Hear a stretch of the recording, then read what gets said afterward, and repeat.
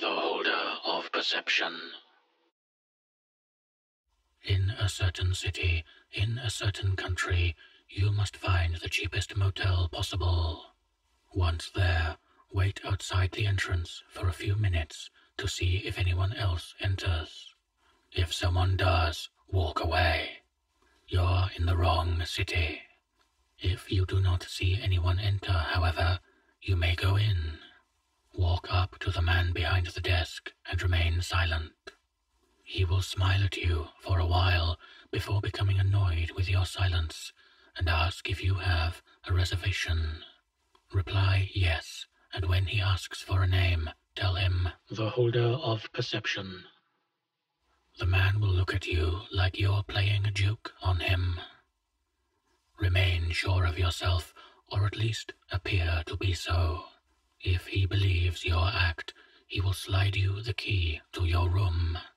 You may or may not take the time to notice that in the place of numbers there will be three realistic pictures of eyes on the attached keychain. Proceed to your room. You must find it yourself.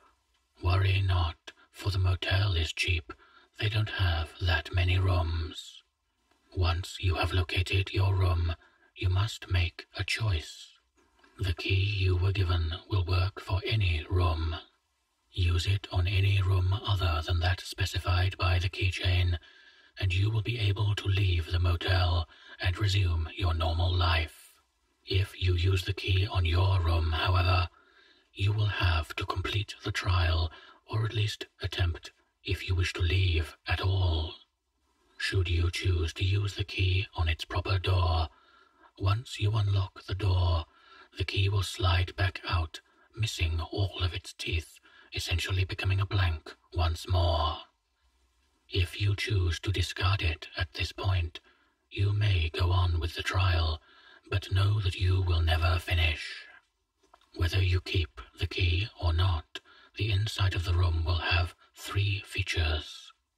The first will be a bed, the second a desk with a computer, and the final shall be a small radio with a stool next to it. If you sit next to the radio, a sound will immediately play at such a pitch that you will die in seconds, the last thing you ever know being what you perceive to be the worst possible sound on the planet. Should you choose to sit in front of the computer, you will immediately be bombarded with pleasurable images that will reduce you to nothing more than a drooling lump of flesh, perceiving nothing more than what you are shown until you die from either thirst or hunger, as your own saliva may serve to keep you hydrated. Should you choose to lie upon the bed, however, you will fall asleep immediately. When you awake, you will be in a concrete room lit by some unknown source. You will be unable to move at first. It may seem to be a few seconds or an eternity. It is up to you to place a time length on the term of your imprisonment. Take the time to observe the box if you wish. Once you are able to move, get up and turn to face one wall, which doesn't matter as they are all perfectly identical.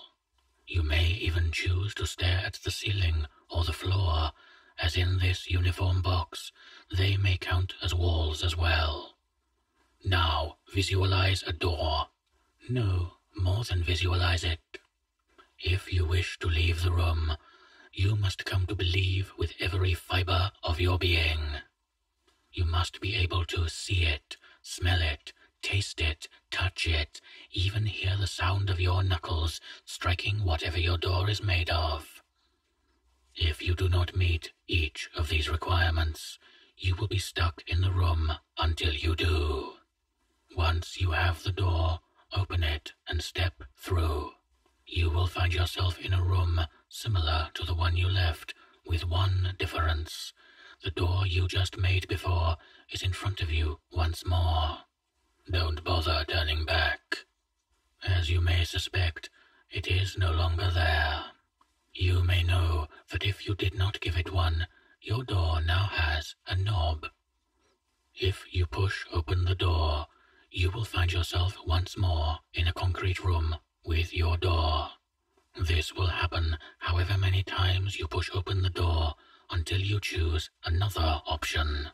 If you pull open, the door will open to pure darkness.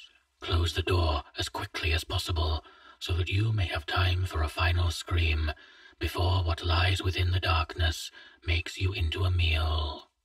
If you kept the now blank key, insert it into the keyhole if you have not already pulled the door open. Turn the key, then leave it in the knob and enter the room beyond. It will be dark. Do not worry, because there is no beast here. Imagine a room as strongly as you please. You do not need to force yourself to believe in it. Your surroundings will change to match your imagination. Take note that any details left out will remain absent. In the room, there will be a figure that you did not put there. It will be wearing a white hood that obscures its body from view. Calmly approach it and ask, What is it they perceive? You will be presented with one of five answers, each pertaining to one of the five senses. You will sense the best and the worst of what they perceive.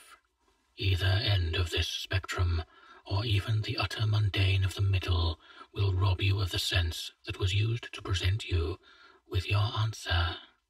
The figure will then disappear, and you will fall asleep. When you awake, you will be in your own bed of the place you call home. To your bed will be a small bottle filled with nondescript white pills. The pills are Object 712 of 2538. They will restore the sense you lost, but you will lose another. Which sense will you neglect when they come